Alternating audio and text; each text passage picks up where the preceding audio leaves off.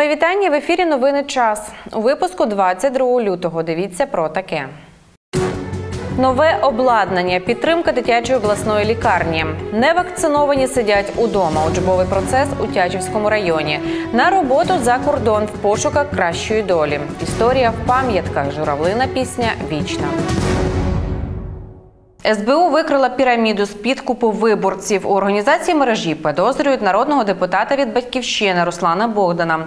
За даними слідчих, піраміда мала чітку ієрархію, складалася з так званих старших виборчих дільниць та десятників агітаторів. Вони отримували щомісячні виплати від 500 до 1500 тисячі гривень за те, щоб забезпечити певну кількість голосів на користь одного із кандидатів.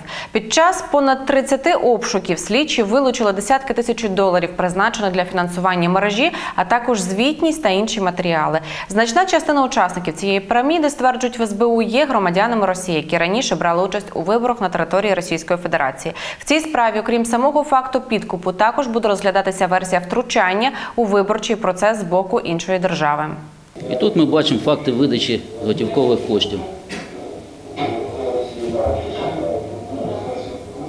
А це відомість зарплатна за грудень місяць.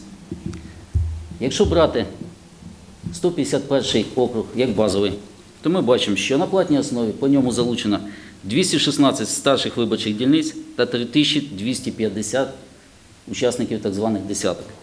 Якщо це помножити на кількість округів, ми, ми отримуємо з вами наступну суму, що на платній основі цією групою планувалося залучити до своєї діяльності більше 680 тисяч осіб. Що ми знову таки погоджуємося з МВС і нічим іншим, як під, підкупом виборців. Обсяги фінансування мережі в різних регіонах були чітко розраховані за формулою, яка враховувала кількість виборців, округів та дільничних комісій. Так звана новина щодо заяви голови Закарпатської облдержадміністрації Геннадія Москаля про відставку, підхоплена в тому числі центральними змі. Це грубий фейк. Геннадій Москаль залишається на своїй посаді. Щодня знаходиться на робочому місці і здійснює поїздки по області. Повідомляють у прес-службі облдержадміністрації. Так просять засоби масової інформації, особливо інтернет-ресурси, оприлюднювати тільки перевірену інформацію, а не поширювати відверті фальшивки з другорядних сайтів. 22 лютого останній день, коли можна розмитнити автомобілі з іноземною реєстрацією за пільговою ставкою акцизного збору. Зробити це можна до 23.59, нагадують в Міністерстві фінансів України. З 23 лютого набуває чинності загальний режим розмитнення таких автомобілів за повною ставкою акцизного податку. Йдеться у повідомленні. Протягом наступних трьох місяців можна буде сплатити штраф 8500 гривень, щоб закрити режим транзиту та перейти до оформлення автівки в режим імпорту. При цьому власників авто на єврономерах не будуть притягувати до відповідальності за просрочення режиму тимчасового везення або транзиту, ухилення від сплати митних платежів. У Тячеві відбулося засідання 17-ї позачергової сесії Тячівської районної ради сьомого скликання. Керував зібранням голова райради Іван Фабрицій. У зібранні також узяв участь голова Тячівської РДА Василь Дем'янчук. По-перше, депутати прийняли ряд звернень до вищих органів влади, до Міністерства аграрної політики та продовольства України щодо ситуації, яка склалась на дочірньому підприємстві Солотвинський солерудник, до Закарпатської ОДА з приводу ситуації, що склалася з фінансуванням охорони і введення лісового господарства до президента України, Кабміну Верховної Ради України щодо стану доріг у районі. Наступними затвердили низку районних програм та внесли зміни і доповнення до вже діючих. Затвердили звіт про виконання бюджету за 2018 рік та внесли зміну до районного бюджету на 2019. Як прокоментував голова РДА Василь Дем'янчук після засідання, змінами передбачені в основному кошти на виплату зарплат працівникам освіти, охорони здоров'я, сільрад, а також на придбання лапароскопічної стійки для Тячівської районної лікарні номер 1 ремонт будинку культури у селі Глибокий Потік. Також виділили кошти на поточний ремонт районних доріг, які розпочнеться як тільки дозволить погода. Також у залі засідань Рахівської райради під головуванням голови районної ради Василя Дана відбулася чергова 20-та сесія районної ради сьомого скликання. Депутати одноголосно схвалили нові програми та внесли зміни до існуючих. Затвердили звіти про стан виконання природоохоронних заходів Карпатським біосферним заповідником на території Рахівського району за 2018 рік, а також внесли зміни до головного кошторису району. Голова ради Василь Дан також звернув увагу присутніх на тому, що за пропозицією очільника очільників району та за підтримку депутатського корпусу в районі щомісяця 13 числа проводиться спільна молитва за процвітання Рахівщини та миру в Україні і запросив усіх приєднуватися до згаданої акції. Інформує прес-служба Рахівської районної ради. У Хусті у 2019-му вперше засідали сесійно-міські депутати. Відтак сьогодні, 22 лютого, відбулося перше засідання 9-ї сесії Хуської міської ради 7-го скликання, на якому обранці розглянули близько 60 питань, серед яких традиційно бюджетні та земельні. Зокрема, мова йшла про головний фінансовий документ міста, адже звітували за торішній і вносили зміни до цьогорічного. Також зміни у депутатських рішеннях торкнулися і окремих міських програм. А це стосовно доріг, їх ремонту та утримання, благоустрою та його покращення, фінансової підтримки комунальних підприємств, проведення різного роду заходів та розвитку спорту. Говорили на сесійному засіданні нині і про туристичний збір та перейменування вулиць. Також прийняли низку рішень пов'язаних з врегулюванням земельних відносин та майна комунальної власності. У різному надали кілька дозволів на розробку проєктів детального планування окремих міських територій та матеріальну допомогу тим хустянам, хто найбільше її потребує. Делегати з чеського краю Височина вкотре навідались на Закарпаття, аби продовжити багаторічну співпрацю. Як і торік, вони відвідали різні населені пункти області та оглянули ряд соціальних об'єктів, які потребують другого дихання, а відтак фінансових вливань. Таким чином, окремі з них буде реанімоване вже цього року, адже гроші на це виділено краєвим урядом чеської сторони. На Хущині чехи побували у п'яти населених пунктах у супроводі представників місцевих органів самоврядування. А районний центр став їх першою зупинкою. Тож подробиці вже за мить. Чеський край Височина та Закарпаття от уже багато років надійні партнери, і це без перебільшень. З десяток років співпраці і на рахунку більше двох сотень спільних проєктів. Разом вдалося реанімувати ряд об'єктів, зокрема соціальної сфери, загальною вартістю у понад 80 мільйонів гривень. Нашій співпраці 12-й рік і за цей період ми здали в експлуатацію понад 200 оновлених об'єктів у сфері освіти, культури, охорони здоров'я, соціального захисту населення тощо. Наше партнерство з Закарпатською обласною радою нині має продовження, і наразі ми оглядаємо наступні об'єкти, які потребують оновлення та фінансових вливань. Зрештою, ми оберемо серед них ті, які отримають друге дихання вже цього року. Наша частка їх фінансування складає 6 мільйонів корун. Це, як правило, проекти, які фінансуються 50 на 50 органами місцевого самоврядування. Це Закарпатська обласна рада, районні ради. Е, І під 50% фінансується за рахунок е, бюджету краю Височин. Сьогодні на ініціативу народного депутата Валерія Валерійовича Лунченка і депутата обласної ради е, Мирослава Золтановича Білецького е, я запросив наших колег із е, краю Височина оглянути кілька об'єктів, які будуть залучені до співпраці і в цьому році. Принципом їх є не є політика, а відносини людей, співпраця між громадами, між містами і співпраця між державами. Е, На цей раз ми маємо делегацію, яку ми теж проводжуємо, як фонд Віза, який є основним фондом по фінансуванню між Чеською Республікою Україною, і не лише в співпрацях між краями, в інших проєктах. Я думаю, що е, Чехи будуть обирати гірські села, села, які найбільше потребують допомоги. Е, Ми маємо оглянути біля 23 об'єктів за два дні і визначитися саме ті об'єкти, які попадуть в пул на виконання 2019 рік.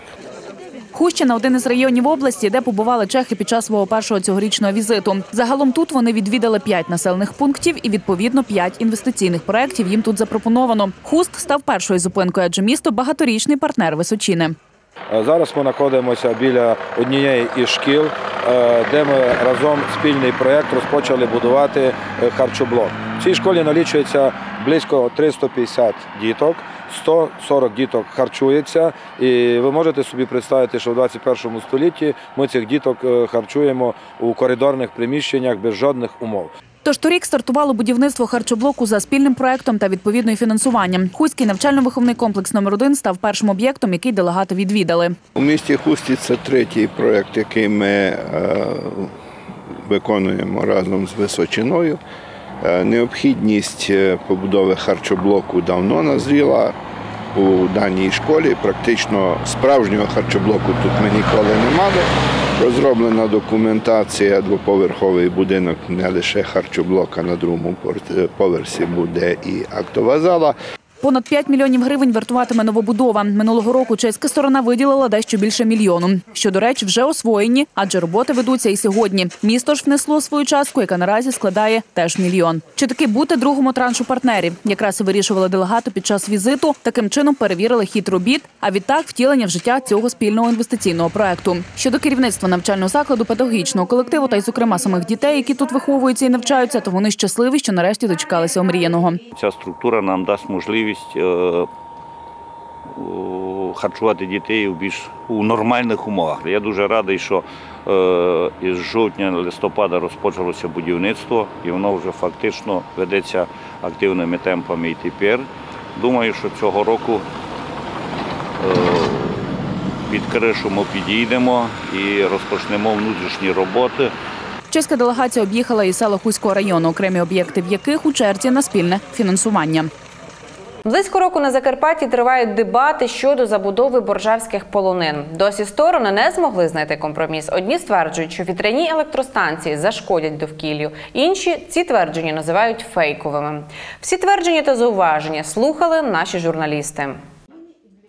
Питання будувати вітряки на Боржаївській половині чи ні, досі не вирішили. Активісти та екологи наполягають, що забудова вкрай негативно вплине на тамтешню природу. кажуть, 34 вітряки висотою у 150 метрів завеликі для боржавських хребтів. А ще це втрата економіки туризму та рекреації регіону. Також негативні зміни навколишнього середовища відчують червонокнижні птахи. вони не побачили міграцію. Тобто те ключове, на яке ми одразу звертали увагу, це е, міграційні процеси через Боржаву. Вони цього не змогли побачити, не змогли оцінити. Летить через Боржаву дуже багато різних птахів, зокрема з них вісім червонокнижних і дев'ять ті, які е, е, охороняються Бернською конвенцією з саме е, смарагдовою мережею. А звіт з оцінки впливу на довкілля науковців, які досліджували місцевість, активісти називають необ'єктивним. Мовляв, у ньому не показані всі негативні наслідки на природу від забудови вітрових електростанцій. Він має вигородити оці переваги, які говорять забудовники, перед іншими можливими, як вони вважають, е, критикою. Так от ця критика стосується це зниження або погіршення ландшафтно-рекреаційної цінності території.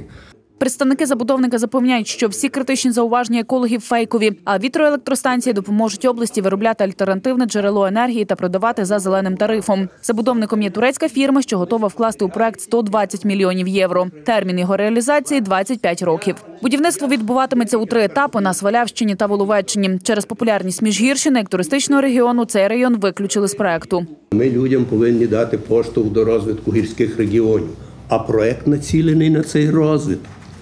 Бо він змінить інфраструктуру.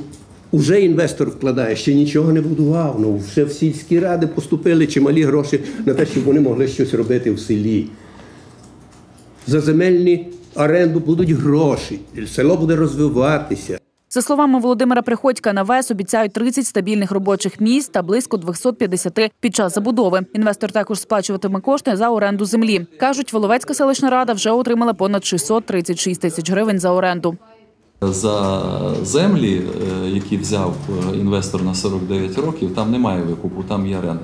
То якраз річна оплата оренди дорівнює сумі туристичного збіру в самому розвинутому в цьому смислі району, перевищує. Це в Свалявському районі. Екологи підготували звернення до громадських організацій з приводу не допустити забудову боржави. Рішення стосовно будівництва приймає департамент екології Закарпатської ОДА. Активісти обіцяють подати до суду, якщо рішення буде на користь інвестора. Посол України в Угорщині передала гуманітарну допомогу онкогематологічному відділенню Закарпатської обласної дитячої лікарні у Мукачеві. Гуманітарна допомога була надана почесним консулом України Алексом Рофтом і складається з медичних засобів та приладів відповідно до списку потреб, переданого послу у грудні 2018 року. Детальніше про нове обладнання у наступному сюжеті. За сприяння посольства України в Угорщині та почесного консула Алекса Ровта Закарпатська обласна дитяча лікарня отримала обладнання для відділення онкогематології. Це утилізатор голок, тобто всі ін'єкції, які виконуються, голка після ін'єкції повинна утилізуватися, тому що по-любому ми маємо справу, можемо мати апріорі з якоюсь інфекцією, яка передається з кров'ю. Надана гуманітарна допомога складається з медичних засобів та приладів відповідно до списку потреб, переданого послу в грудні 2018 року. Таким чином отримали і деякі розхідні матеріали та сухожарову шафу.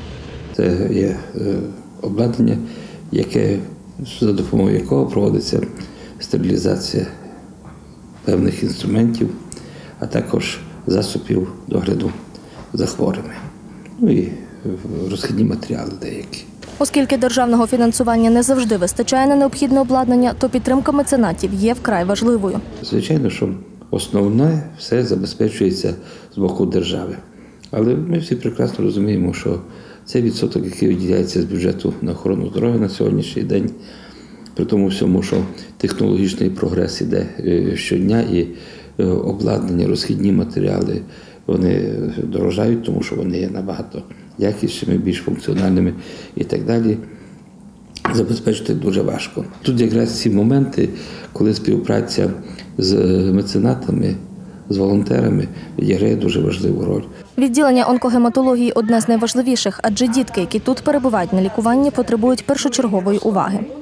Обрали е, це відділення дійсно, тому що це є діти, які потребують першочергової уваги з нашого боку, з боку меценатів, волонтерів і так далі, тому що е, на сьогоднішній день е, цим дітям можна допомагати і допомагають, але ви прекрасно розумієте, що є морально-психологічний, етичний фактор даної проблеми і так далі. І дійсно це лікування є дуже дороговартісним і затратним. Варто наголосити, що у Закарпатській обласній дитячій лікарні щороку відбувається часткове оновлення обладнання. Минулому році ми закупили наркозно-дихальну апаратуру сучасну. Ми закупили е, експертного класу ультразвуковий апарат для обстеження дітей в першу чергу з вадами розвитку серця і так далі. Наразі вже майже все отримане обладнання використовують під час лікування, а до кінця тижня обіцяють встановити і сухожарову шафу. В Тячівській об'єднаній громаді невакциновані діти не зможуть відвідувати школи та дитячі садки. Таке рішення прийняли для того, щоб захистити школярів та дошкільнят від смертельно небезпечного вірусу, який вже забрав на Закарпатті два дитячих життя.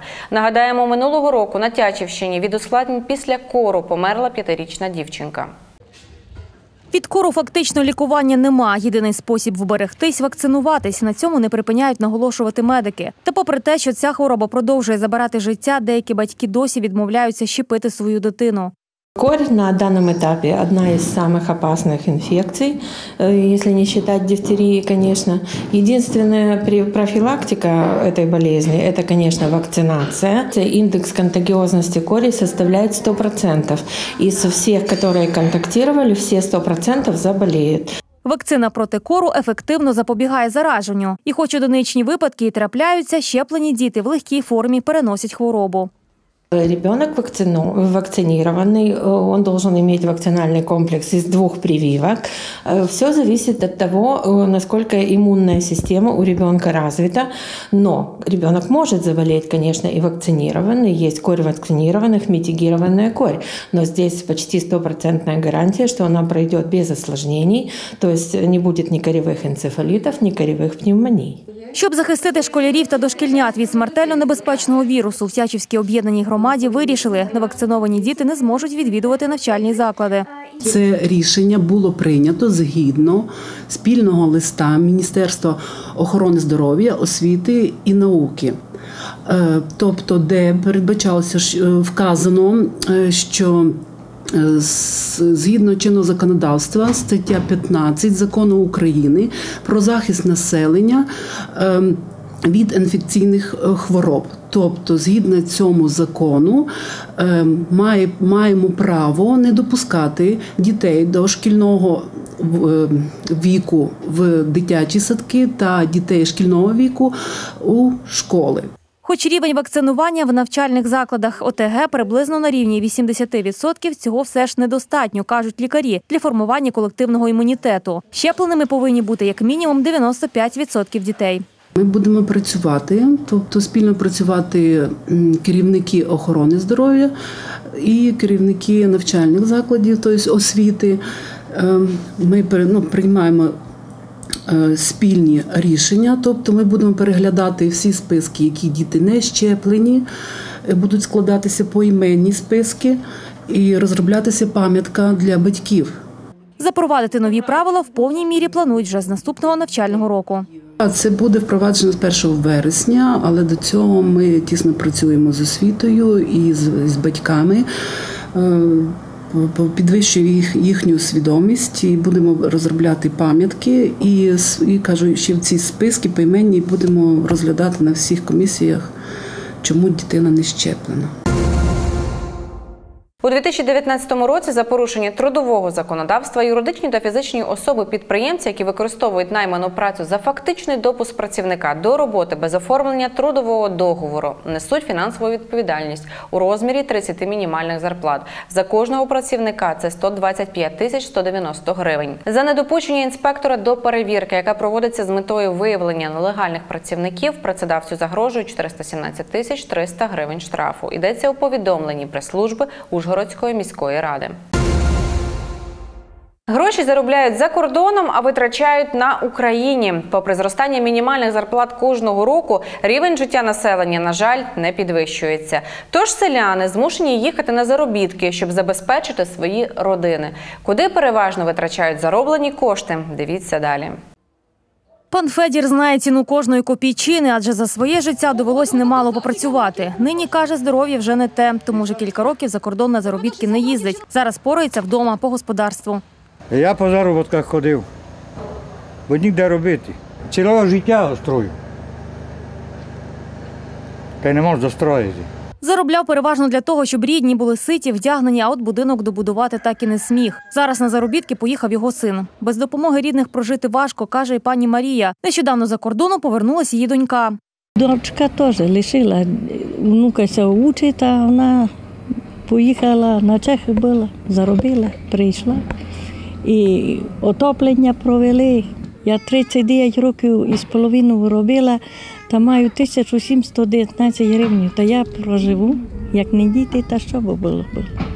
А що от ну Хозяйство держимо, держимо хозяйство, ну біда, е, якби не заробітка, то люди нижчі, нижчі, нижчі, дуже. Інколи хату будує собі родина ціле життя. Якщо батьки не встигають, справу продовжують їх діти. син один, онука теж. На Словаках працював у молодці онука. Теж працюють. Словаки, в Чехії, Польща. Ну, так туди в Італію, Іспанію рідкості. Може, і вже є молодіж. Ну, то тут прикордонна зона найближче. Чехія, Словакія, Польща та туди й їдуть. Хоч заробітчани тут є в кожній родині, та більшість жителів села все ж в іншій країні назавжди залишатись не хочуть. Ти пошти у кожній хаті, що, що всі на заробітках. Там вони і, і кормлять, і сім'ї содержать, та як усі. У мене і зять був, і, і, і чоловік був, усі, усі були. Вертаються, строять, онуки вже. То вже тепер дуже, дуже тяжко виживати. Люди кажуть, зарплати за кордоном вищі, та й робота там є. Та жити завжди краще вдома. Тому через якийсь час усі повертаються на свою малу батьківщину. На Тячівщині затримали водія, котрий збив 17-річного юнака і втік. Нагадаю, 19 лютого близько 23.30 до поліції надійшло повідомлення від лікарів Тячівської районної лікарні про те, що до них для надання медичної допомоги в реанімаційне відділення доставлено після ДТП 17-річного мешканця села Колодне. Постраждалому попередньо діагностували закриту черепну мозкову травму та політравму. На місці слідчо-оперативна група встановила, що 40-річний мешканець села Колодне, перебуваючи за кермом автомобіля на перехресті, допустив наїзд на неповнолітнього односельця та поїхав з місця події в невідомому напрямку. Чоловіка все ж знайшли. Слідство у справі триває. Повідомляють у відділі комунікації поліції Закарпатської області. Під час нічної пожежі у Дубовому на Тячівщині загинув власник будинку. Повідомляють у ДСНС Закарпатській області. 22 лютого о першій ночі до служби порятунку повідомили про пожежу в житловому будинку на вулиці Суворова в СМТ Дубове. Про загоряння повідомили сусіди, які помітили, що з будинку іде дим та видно полум'я. Під час гасіння всередині однієї з кімнат, яка і була осередком загоряння, рятувальники виявили тіло людини. Пізніше з'ясувалося, що це 40-річний власник помешкання, який проживав сам. В Ужгороді до поліцейських підійшов чоловік, який запропонував їм придбати наркотичну речовину, ймовірно, амфетамін. Він наполегливо рекомендував свій товар за 300 гривень. Оскільки у патрульних був вихідний, то він навіть не зрозумів, що підійшов до охоронців порядку, які не розгубилися і почали активно діяти. Поки один із інспекторів спілкувався з чоловіком, інший непомітно повідомив про це колег, які перебували на службі. Аби у нього не виникло підозр, вони почали розпитувати, що саме він пропонує, чи є у нього ще, та попросили показати товар. Коли чоловік зрозумів, що відбувається щось не те, було вже запізно. Наразі слідчі дії встановлюють обставини злочину, оскільки за розповсюдження наркотичних речовин передбачено кримінальну відповідальність. Повідомляють у патрульній поліції в Закарпатській області. Прикордонники України та Словаччини розпочали триденний курс зі спільного патрулювання. Тренінг триває як на словацькій території відділення прикордонного контролю Вишнє Немецьке, так і на території України на базі відділу прикордонної служби Ужгород. Охоронці кордону двох країн відпрацьовують практичні навчання в організації та проведенні спільних патрулювань на ділянці українсько-словацького кордону та рівень взаємодії. Варто зазначити, що впродовж 2018 року українськими та словацькими прикордонниками здійснено 226 спільних патрулювань. З них по території України 115, на території Словаччини 111. За результатами їх проведення затримано близько 10 незаконних мігрантів. Протягом останнього місяця цього року на території України спільним патрулем за спробу порушення державного кордону затримано трьох громадян Іраку. У Тячеві на громадських слуханнях представили проект пам'ятника монумента Журавлина пісня вічна. Крім самого монумента, на слуханнях обговорювали питання розташування пам'ятника. Більше про проект знає моя колега Олена Добра. Нехай пам'ять народна живе. Кожне покоління залишало своїм нащадкам власні здобутки та пам'ятки. Від покоління до покоління передавалися досвід, традиції і знання про історичне минуле народу. З такою метою представив свій проєкт Журавлина пісня вічна на громадських слуханнях у місті Тячів Михайло Белань. Я би хотів так сукупно виразити ту історію, тисячолітню історію Марамовщини, щоб після нас майбутнє покоління добре знали, якими ми були, якими є і якими ми хочемо бути. Це єдиний монумент в Україні, де на чотирьохсторонній колоні буде розміщено у рельєфах тисячолітню історію Тячівщини і міста Тячів, сторінки буття від археологічних знахідок і сюжетні композиції з подій, що відбувалися упродовж століть і до сучасності. Це буде шестиметровий пам'ятник, де я показую сім'ю журавлів, бо це є е, один із кращих символів українства. Потім я показую значить, символічне око Вседержителя Небес і закінчуючи довічним співом жайворонків, і над якими і над нами всіма е, витає Святий Дух. Тячівська міська рада та автор проекту запропонували розмістити пам'ятник на площі Незалежності перед адмінбудинком Тячівської районної ради. Пропозицію щодо розташування монументу оголосили на офіційному сайті Тячівської громади і на сторінці Тячівської міської ради у Фейсбуці. Я думаю, що такий пам'ятник на такому відкритому місці був би гарний для Тячева. Безперечно, що це ще питання буде обговорюватися декілька разів і на чергових радах. Там є ще й обласна художня рада. Майбутню долю цього проекту будуть обговорювати на засіданні Тячівської міської ради. Це була остання новина. Вже завтра у випуску. Дивіться про таке. Операції на хребці, медичні досягнення мукачівських лікарів. Чехи у Хуському районі. Почесна делегація. На цьому в мене все. Бажаю вам гарних вихідних і тільки позитивних новин. Бувайте!